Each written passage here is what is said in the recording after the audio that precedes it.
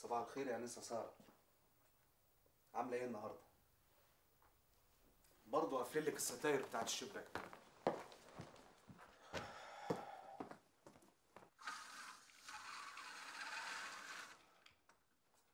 اهو كده. تهيألي كده أحسن. على الأقل يعني يبقى في فرق بين الليل والنهار. فطرت يا انسه سارة؟ ربنا وحده اللي يعلم إذا كنت بتجوعي وتشبعي زينا ولا لأ. إيه رأيك في شوية شمس زي بتوع امبارح؟ تعالي.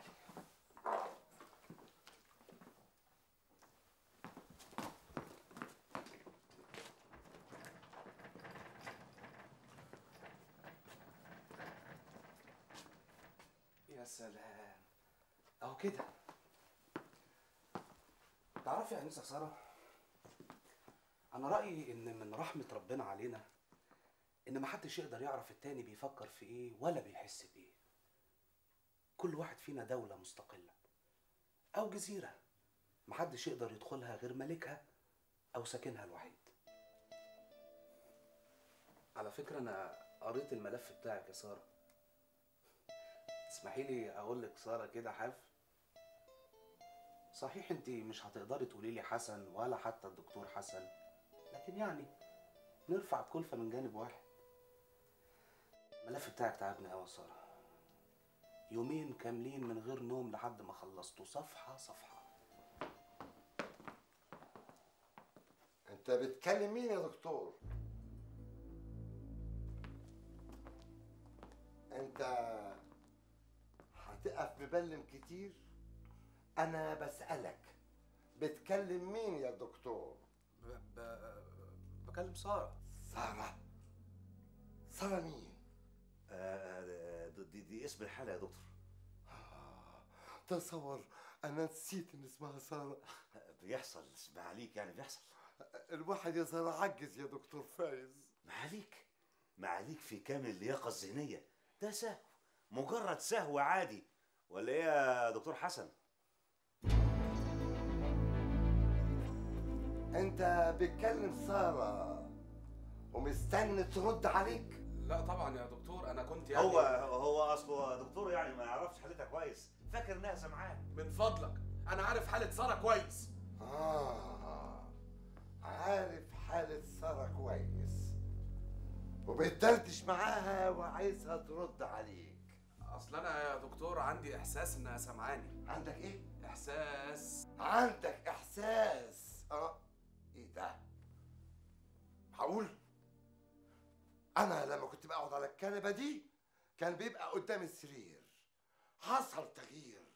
سناء يا سناء نعم يا فندم. تعالي يا سناء نعم. رد عليا. أيوة. مين اللي قال لك تحرك السرير؟ ومين اللي رفع الستارة؟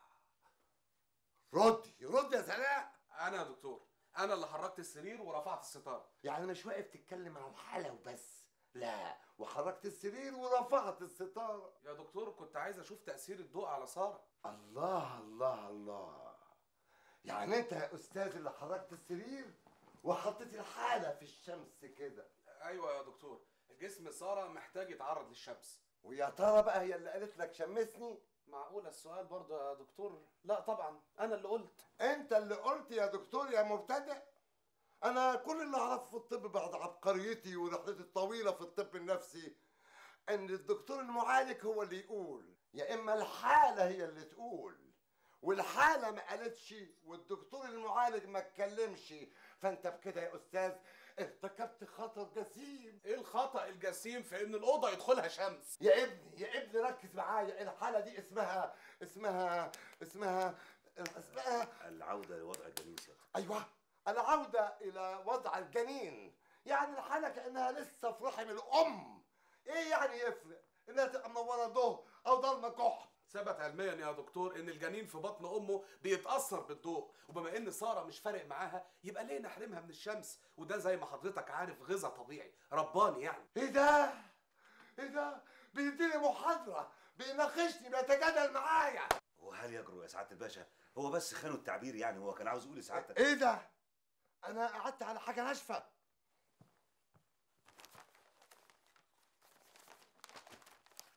إيه اللي جاب الملف ده هنا؟ ده ملف حالة سارة يا دكتور. والحالة برضه هي اللي طلبت الملف بتاعها عشان تشوف الصور وتتفرج عليها. لا يا دكتور أصل أنا كنت ده أنا اللي إيدي وقعت على حالة تسيب خطيرة. حصلوني على مكتبي يا دكاترة. إيه يا دكتور؟ انت معايا. بتعمل إيه؟ يا دكتور الحالة محتاجة تتحط في يا الشمس سيدي ولا شمس ولا هوا ولا قمر. بالراحة. رجعها. مكانها رجعها. مكانها. ما نشوف هنعمل إيه في الكارثة اللي تحطنا فيها دي. بالراحة عليها. يلا. يلا. بالراحة. يلا. سارة يلا. هرجع لك تاني. يلا.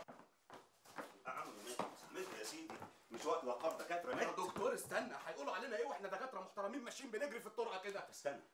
ما هو إحنا لازم نتفق الأول قبل ما ندخل الدكتور عز لازم كلامنا يبقى واحد. ولا واحد ولا اتنين. أنا هقول له الحقيقة. الحقيقة هي اقصر أنت الطرق هتعمل لي فيها مصطفى كامل. الحقيقة ممكن تاذينا أنا وأنت والموظف الغلبان. لا أنا لا يمكن أسمح لحد إنه يتضر بسببي. مش وقت شعارات وحات أبوك. الحل في الموقف المتأزم اللي إحنا فيه ده إن إحنا نزود جرعة النفاق للدكتور عز ونتوهه هو بيحب كده. أنا ماليش دعوة بيحب النفاق ولا بيكرهه. أنا ديداني الحقيقة. يا اخويا ديدنك الحقيقة. يعني إيه ديدنك دي؟ أنت بتجيب الكلام ده منين؟ أنا بقالي أكتر من 20 سنة بمارس الطب النفسي بشكل تطبيقي أول مرة أسمع الكلام ده. يا دكتور صدقني اسمع اسمع. سيبنا أنا أتعامل مع الدكتور عز أنا بعرف أتعامل معاه سيكولوجيا كويس قوي وأنا؟ أنت والحقيقة وديدنك تتفرجوا عليا وتتعلموا. يا دكتور صدقني يلا يلا مش يلا يا سيدي الله الله الله الدكتور عز على حالة الطوارئ شايف الناس بتجري إزاي؟ أنا مش فاهم على إيه ده كله. ما هو انت ما تعرفش الدكتور عز ده أكتر واحد بيعمل من حبة قبة. بقول لك إيه ما تشوف الراجل بتاع الارشيف وتحذره قبل الدكتور ما يبعت له. تعالى بس نخش الأول نشوف إيه الحكاية وبعدين نبقى نحذر الموظف. أكيد ما لحقش جابه يعني. انت شايف كده؟ طبعا. طب يلا بينا يلا بينا.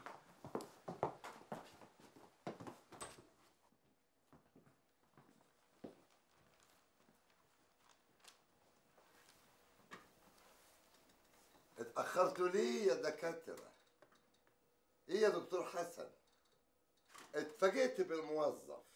كنت فاهم إنك هتلحق تحذره. لا لا لا لا لا.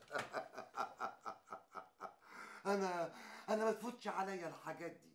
يا دكتور أنا مش عايز أفوت على حضرتك حاجة. آه، هي عبقرية معاليك تعدي عليها مسائل تافهة زي دي.